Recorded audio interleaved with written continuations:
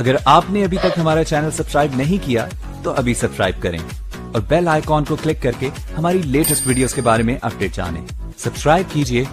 मेरे ख्याल में अब जो आरएसएस और बीजेपी करने जाएगी, कुछ और इकदाम भी लेंगे ताकि मुसलमानों की जो है, मुसलमानों को डिस्करेज किया जाए कि वो एक से दो से ज़्यादा बच्चे पैदा ना करें। क्योंकि आदित्यनाथ जो कि उत्तर प्रदेश के चीफ मिनिस्टर हैं उन्होंने दबे दबे अल्फाज में ये कह दिया है कि अगर आबादी बढ़ ही रही है तो इसको एक लिहाज से बैलेंस तरीके से आगे बढ़ना चाहिए। क्या 2024 में भी यही लगता है कि वो इलेक्शन जीत ही जाएँगे?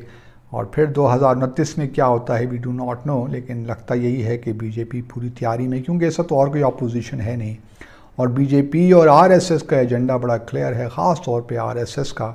वो तो यही कहना चाह रहे हैं कि भाई पाबंदी लगाई जाए। और यहाँ तक भी योगी आदित्यनाथ ने कहा है कि जिस फैमिली में दो से ज़्यादा बच्चे पैदा हों, उनको गवर्नमेंट जॉब्स भी नहीं मिलनी चाहिए। जिसका मतलब ये हुआ कि अगर मुसलमानों के यहाँ दो से ज़्यादा बच्चे पैदा हो रहे हैं तो फिर उनको गवर्नमेंट जॉब्स ही नहीं मिलेंगी। एक तरफ़ तो ये एक कदगन लगाई जा रही है और इस तरीके से ताकि जो मुसलमान पहले ही बेचारे बुरी हालत में उनको मज़ीद उनकी हालत को ख़राब किया जाए। लेकिन ये योगी योगी आदित्यनाथ जो चीफ़ मिनिस्टर हैं, उनकी, उन्होंने जिस तरह रिएक्ट किया उसमें बड़ा क्लियर मैसेज है मुसलमानों के लिए कि हम आपको बस चौदह फ़ीसद आप हैं तो आप यहीं रहेंगे और आप अगर आपकी आबादी बढ़ेगी तो आप ऑब्वियसली आपको हम तालीम के मैदान में, मुआशी इकतसादी मैदान में ऑब्वियसली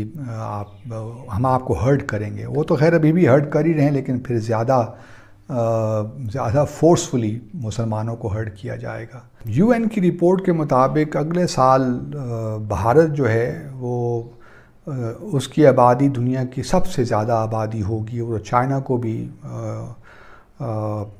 चाइना से भी आगे निकल जाएगा। तो भारत में अब एक डिबेट शुरू हो गई है और आज मैं देख रहा था कि योगी आदित्यनाथ, जो कि उत्तर प्रदेश के चीफ मिनिस्टर हैं, उन्होंने दबे दबे अल्फाज में ये कह दिया है कि अगर आबादी बढ़ रही है तो इसको एक लिहाज से बैलेंस तरीके से आगे बढ़ना चाहिए। कहने का मकसद ये है कि इनडायरेक्ट वो यही बता रहे हैं कि मुसलमानों के यहाँ आबादी ज़्यादा बढ़ रही है एज़ कंपेयर टू दूसरी जो जो मेजॉरिटी है, हिंदू जो हैं या सिख बरदरी है या जो और माइनॉरिटीज़ हैं, उस तरह नहीं बढ़ रही जिस तरह मुसलमानों की आबादी बढ़ रही है।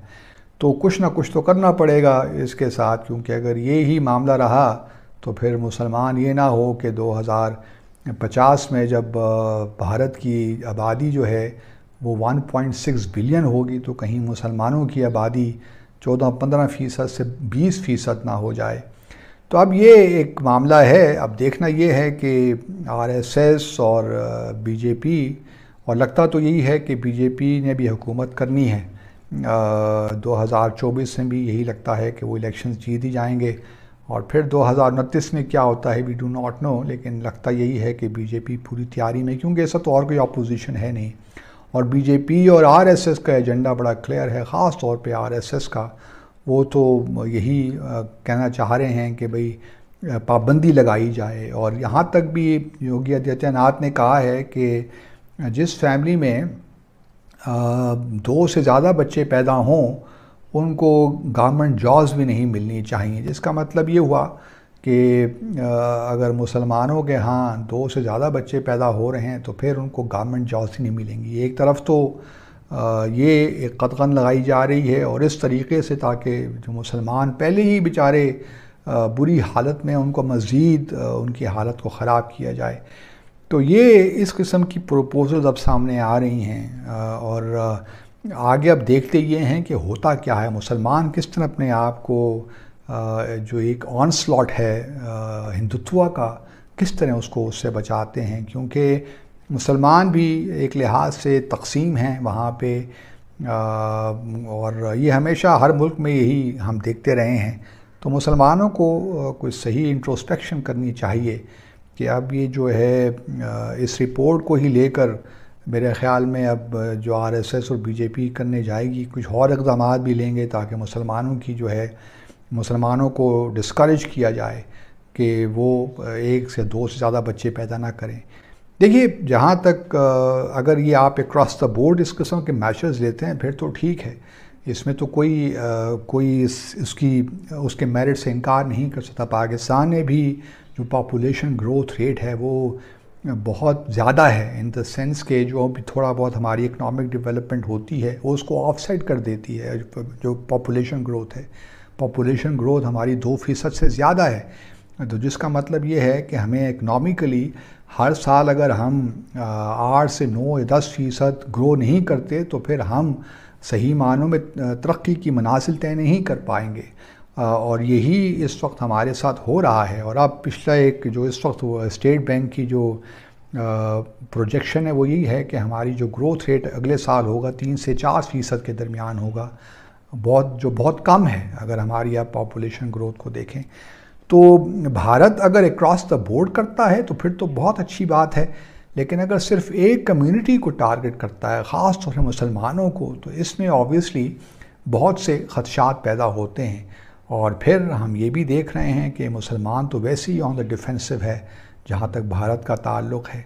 गो के असदुद्दीन अवैसी साहब, जिनका ताल्लुक़ हैदराबाद से उन्होंने उसको काउंटर किया है योगी आदित्यनाथ के रिमार्क्स को। लेकिन ये स्टेटमेंट देना तो हो जाता है, लेकिन भारत मुसलमानों को इसके बारे में सोचना पड़ेगा। और भारत के लिए भी एक लम्हा फ़िक्रिया तो है क्योंकि अगर आबादी इतनी तेज़ी के साथ बढ़ रही है, और सबसे बड़ा मुल्क आबादी के लिहाज से अगर भारत हो जाएगा अगले साल लेकिन इकनॉमिक डेवलपमेंट उस तरह नहीं है जिस तरह की होनी चाहिए।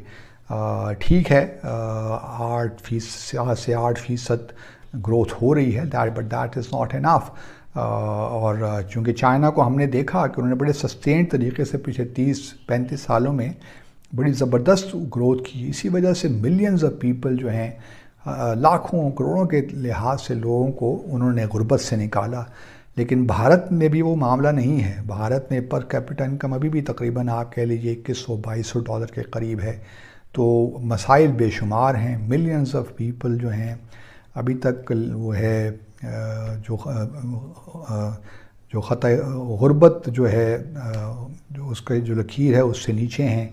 तो इस वजह से बहुत इश्यूज़ हैं भारत के अभी तो लेकिन ये योगी योगी आदित्यनाथ जो चीफ़ मिनिस्टर हैं, उनकी, उन्होंने जिस तरह रिएक्ट किया उसमें बड़ा क्लियर मैसेज है मुसलमानों के लिए कि हम आपको बस चौदह फ़ीसद आप हैं तो आप यहीं रहेंगे और आप अगर आपकी आबादी बढ़ेगी तो आप ऑब्वियसली आपको हम तालीम के मैदान में, मुआशी इकतसादी मैदान में ऑब्वियसली आप, हम आपको हर्ट करेंगे। वो तो खैर अभी भी हर्ट कर ही रहे हैं, लेकिन फिर ज़्यादा ज़्यादा फोर्सफुली मुसलमानों को हर्ट किया जाएगा।